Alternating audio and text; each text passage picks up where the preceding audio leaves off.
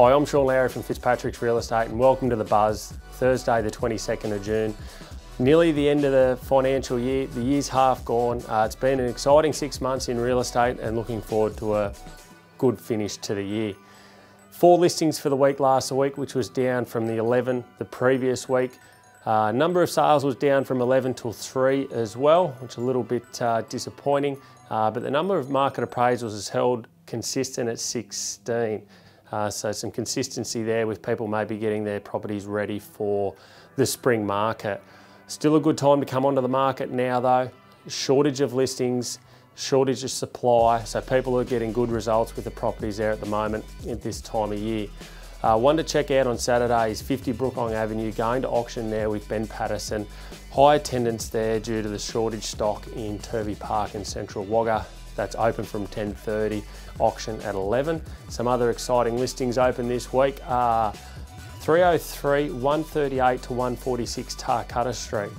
That one's going to auction. It's a two bedroom unit, two bathroom with a single lock up garage there. 104 Ashmont Avenue with Paul Gooden, it's 309,000, three bedrooms with two bath uh, and some good car accommodation there for four cars. Uh, 23 Forest Street, open with Matt Newley. It's 309,000 in the popular suburb of Lake Albert. Three bed, one bath with a single lock-up garage there. And 8 Goldstein Crescent. Uh, it's 429,000. It's your standard four bed, two bath with double car there in uh, Goldstein Crescent. So as mentioned earlier, the auction at Brookong on Saturday, but there's a real shortage and a high demand of that central Turvey Park property.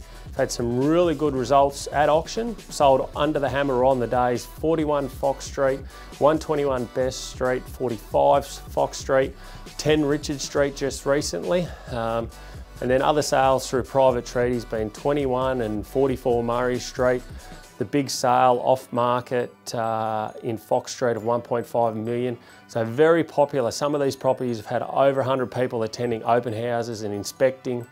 Um, so if you are thinking, it's a really good time to bring your property market at the moment in that central Turvey Park area. Please give us a call to talk about uh, the right strategy and process on how to get you a great result there.